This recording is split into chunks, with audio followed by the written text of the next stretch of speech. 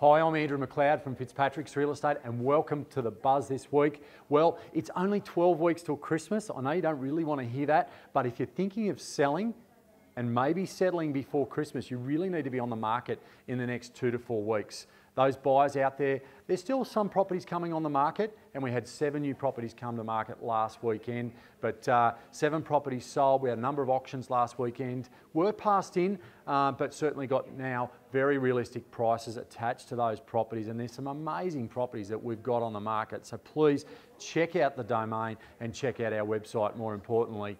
Um, just a, a note, uh, the property management department uh, have got 0.8% vacancy rate.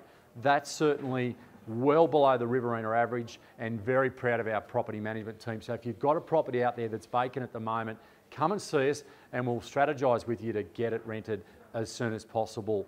A um, couple of properties this weekend. There's a great house in Brindabella, uh, which Brendan's bringing on the market.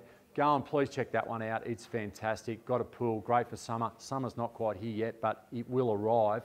Um, and also one in Grampian Place, uh, which certainly uh, will appeal to a lot of people in a great little location there in uh, Tatton. So um, we met a, over two, nearly 200 people last weekend at our opens. So there's lots of activity, people getting around, checking out our open houses. Uh, really proud of what we do at Fitzpatrick's, particularly in our marketing department.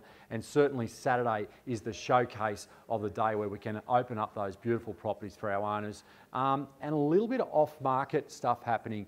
I know Helen had a really good sale last week off the market. Um, so if you're thinking of selling, you don't really want to go that full campaign, make sure you talk to us because there's certainly buyers around. Look, hope to see you out there this weekend. The footy finals are on this weekend. Beers and Gears on on Sunday. So lots happening this week on the long weekend. We hope we see you out there. My name's Andrew McLeod.